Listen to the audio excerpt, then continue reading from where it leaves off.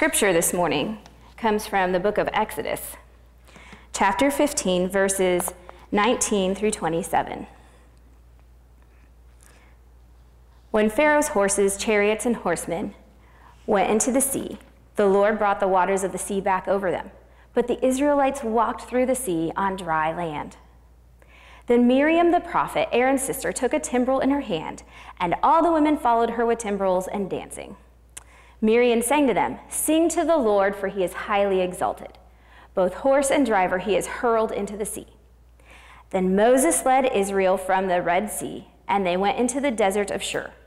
For three days they traveled in the desert without finding water. And when they came to Marah, they could not drink its water because it was bitter.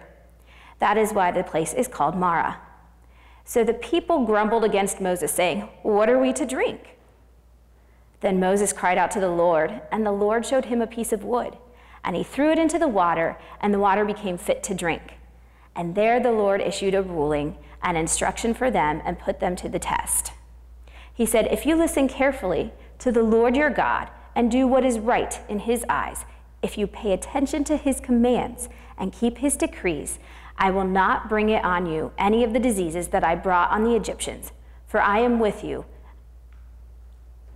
Then they came to Elim, where there were 12 springs and 70 palm trees, and they camped there near the water. The word of the Lord. Thank you, and you may be seated.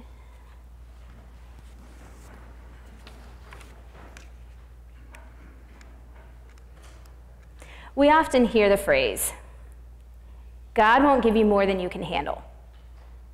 However, a few years ago, I, I, met a woman in one of my previous churches, and she was telling me about when her youngest daughter was born. Her daughter was born unexpected, well, not unexpectedly. Her daughter was born, and they didn't know before she was born that she was going to have Down syndrome. So she found that out upon Ella's birth. And as this woman sat in her hospital room, she told me, holding her newborn baby, scared, afraid, unsure, her sister came in and she was telling me that she was talking about, you know, they say God never gives us more than we can handle. I don't know. And her sister turned to her and said, That's garbage. That saying is complete garbage. She said, Instead of thinking of it that way, think of it this way God is going to give you the strength to handle the situation you've been given. That's a phrase that I have found to be more suitable God will give us the strength to handle the situations we've been given. I know in my short 34 years on this earth, I've been through a lot of crud.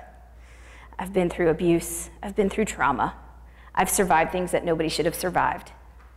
And the only way I can think of getting through those things is because God has given me the strength to get through each and every one of those situations. In our scripture reading today, we read about God meeting the needs of the Israelites as they were leaving Egypt. Prior to the, the parting of the Red Sea, they had been slaves to Pharaoh. They had been beaten and abused, and some were probably even killed for not doing their weight according to the Egyptians. But God was with them all along. God was providing for with their needs all throughout. You see, God will give us the strength to handle the situations we've been given, just like he did the Israelites. God was with Moses. He met him at the burning bush and said, I'm going to use you. Moses said, I'm not a good speaker, God. I can't do this. I can't do this. God said, Have no worry. I'm going to help you. I've got you. So God used Moses. Moses went to Pharaoh. Pharaoh said no a number of times. And God said, I'm going to bring these plagues upon the land. There were 10 plagues. Finally, the 10th one, and God told Moses to tell the Israelites, if you put the blood of the lamb over your doorframe, the angel of death is going to pass over you. I'm going to provide for you. Your firstborn will not die when you do that. Well, that happened to the Egyptians. Their firstborn died. God provided for the Israelites. This was their out. Pharaoh had had enough. He was done. He said, Get out of here. Hurry. Go. Had, so the Israelites, they had already been prepared to be packed and go. They were on their way out, and God was leading them. He was a cloud by day and a pillar of fire by night because they had no idea where they were going. The only direction they had was God. God was providing them those directions, God was meeting their needs. so then Pharaoh at some point got a little bit antsy and he realized what was happening. He had nobody to do the work. So he said, uh, Let me go get them. And he sent his army after the Israelites. Well, as they were coming, God put a wall between uh, Pharaoh's army and the Israelites. And he had Moses lift up his arm to part the Red Seas. So the Israelites walked on dry ground through the Red Sea. And then God closed it as the last Israelites came across and Moses was across. And then at that point, Pharaoh's army was kind of in there and they all they all drown. God provided for the Israelites. He provided those needs. Our scriptures are full of, of examples of how God has provided needs. We look at King David before he was king, when he was up against Goliath. God provided him. You know, King Saul had said, Here, put on this armor. And God said, No. The armor was too heavy for David. He was a little guy. So God said, Here, use your slingshot. Slingshot and a stone took down a giant. Something so small. God provided that need. We have Daniel in the lion's den. God shut the mouths of those lions because the, the people in Babylon were so jealous of Daniel's relationship with the king. They were so jealous, and they decided they were going to find a way to trap him. And that's when they appealed to King Darius's um, ego, his ego, and they said, they should be, we should be bowing to you. If anybody's praying to anybody else, they need to be thrown in the lion's den. King Darius went along with it, not thinking about his friend Daniel. And then when Daniel was found praying to God, they said, Hey, King Darius, your buddy Daniel's praying not to you, but to his God. And so King Darius had to abide by his own law, and he threw Daniel in the lion's den. Surely Daniel would have been killed. But when they went the next morning to check on him, not only was Daniel not killed, but he was able to, the, the mouths of the lions were shut. God provided for Daniel. God provided for Shadrach, Meshach, and Abednego in the fiery furnace. you think of furnace, and I, it was super hot. I don't know how many degrees, but enough to kill people. But not only did they, they not survive, not a hair on their head was even singed. God provides. God is so amazing. And then as we move into the New Testament, we have, you know, Jesus providing all these miracles for all these people who just needed to be able to walk. They needed to be able to see. And God used Jesus to do those. And then we have the Apostle Paul, one of my favorite Bible characters. Paul survived a lot. Not only did he used to be a dictator and, and um, killed Christians, but then God turned that. And all of a sudden, Paul became, or Saul became Paul, and he became one of the greatest apostles. He became somebody who rang out the story of Jesus. In Acts 16, we read about how Paul and Silas were. Um, they were traveling through Macedonia to uh, spread the gospel. They were on their missionary journey, and they encountered a girl who, who was full of the Spirit. She had the gift of divination, it says. Her, she was a slave girl because of this gift. Her masters were using her to make a profit. Well, she saw Paul and Silas and she said, These are men of God. They are men of God. Paul got annoyed because she was following them. You ever think of somebody that looks up to you and they're following you everywhere and you finally get annoyed? And Paul said, Enough. And he, he knew that the spirit was in, or the demons were in there. And he said, Come out. And so the spirits left her. And then when they left her, her master saw that she no longer had that gift of divination and she was of no use to them. And they lost a profit. So what did they do? They had Paul and Silas arrested. They were thrown in jail. One of many times Paul was put in jail. and in that time, they were in the jail one night singing well into the late night, early morning, singing hymns and psalms and just worshiping God and praising God. Because even in the midst of trials, God was providing for them. even in the midst of a hard time, they saw it fit to thank, be thankful and serve God. God caused an earthquake to happen. The jail cells were wide open. and the jailer, he looked and he was, took out his sword and he was getting ready to kill himself because prisoners escaped. And as he did that, Paul called out. He said, Wait, hold on. We're all here. You have no need to kill yourself. And God was able to use that moment. He provided this moment for Paul to be able to share the gospel with this jailer who then believed. Believed. But the biggest need of all that God has provided for us is Jesus. We have a problem, we have a sin problem. And God provided Jesus to take care of that. He sent Jesus here as a tiny baby 2,000 plus years ago. Jesus came as that tiny little human. He grew up, he was raised in, in the scriptures that they had. So oftentimes I have to remind myself that Jesus didn't have the same scriptures we had. He was, you know, the stories about him. So he was doing the Jewish law. And I have to remind myself of that because there's a disconnect with that sometimes. Jesus grew up going to temple. He grew up celebrating Passover. But then it came his time to shine. That's when we start reading about the miracles that Jesus did. We read about how Satan tempted Jesus in the desert, tried to get him to sin. Jesus didn't fall for it because he's perfect. He's God's son. He came to suffer and die for you and me and everybody in the world. Jesus came to solve that sin problem. I so often, as I read the story of Jesus' death and resurrection, I think about those hours he spent on the cross.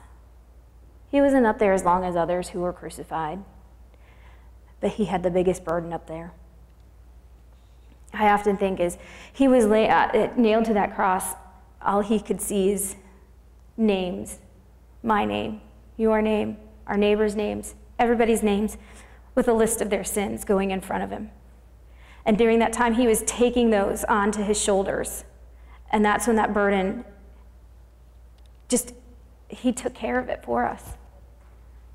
He took care of that so that we can have hope.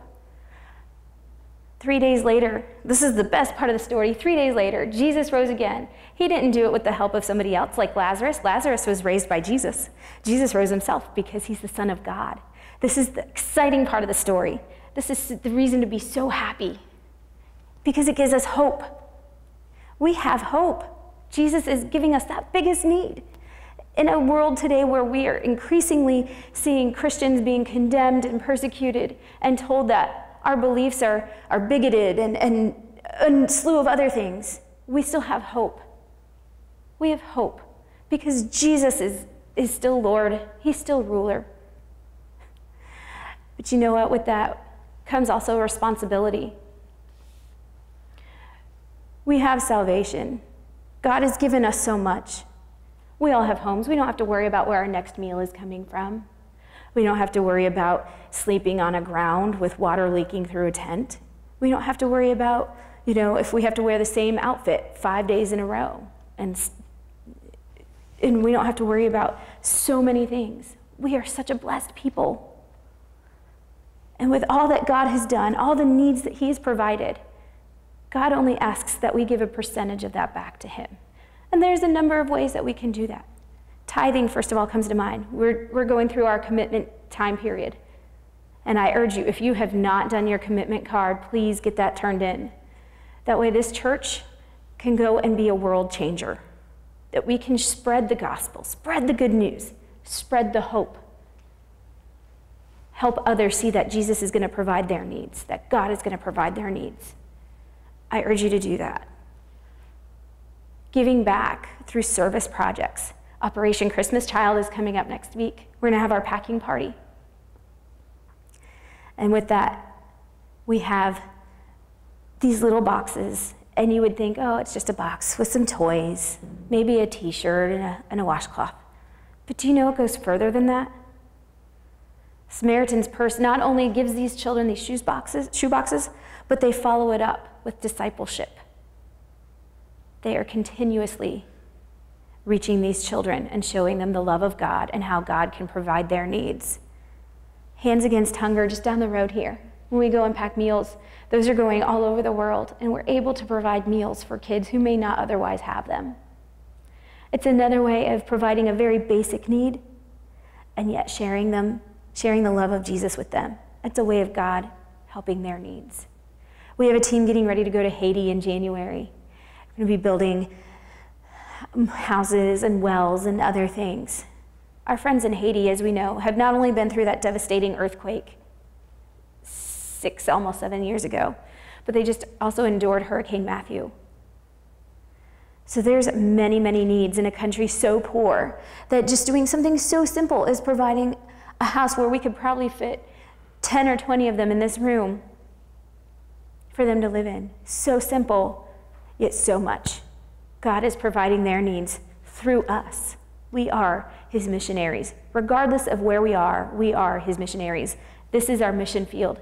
When we leave this church, we never know who we're going to encounter. And God tells us that we may not know. He may send people for us to, to provide for, and they may be His angels. Just to see if we're living out God's word. Blessings is another way I can think of that we can give back. When's the last time you said a blessing over your child or your spouse? I've been thinking about this a lot lately. It came up. I was at, at a conference recently and they talked about that. There is a, one of my professors was giving a breakout uh, session at this conference, and she talked about at a church she was visiting once, their children's director, in between services, brought families in and would have them, she would say a blessing over them, and then she would hand it out to them on paper, and then they would practice saying it to, uh, to their neighbors, to their families right there. And then they would go home and have that to say over their families every day. When's the last time you prayed a blessing over your, your spouse or your, your child? These are just small things that we can do. God is continuously providing our needs. I moved here to Cincinnati. I was 19. I moved 10 and a half hours away from my parents when I was 19 years old into a place I didn't really, I knew a few people, but not very many. And uh, I was staying with a friend up, at, up here in Sharonville, actually. And then uh, she was also 19. We, we had been uh, suite mates at, at Cedarville. And we didn't know much about money. we didn't know much about anything. And she eventually, essentially got evicted. And so we ended up having to find other places. And we, we had kind of created a network at that point, and they were able to help us find places to stay until we could find one of our own. God kept providing my needs. I didn't have, a, I didn't have any money. Half the time my account was overdrawn. I had no idea where my money was going. I knew nothing about budgeting, nothing. But God kept providing. He kept, people were blessing me with furniture for my apartment, sometimes taking me out for a meal, small things. God kept providing. And because of that, I, that's why I find it so necessary to give back as much as I can. My husband and I aren't rich by any means of the imagination, but we try to give back as much as we can because God keeps providing our needs regardless.